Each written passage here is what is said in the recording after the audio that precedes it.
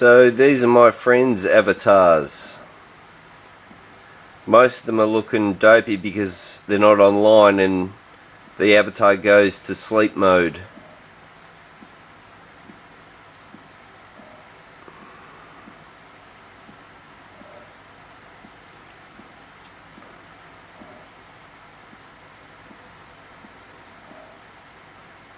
That's Joey.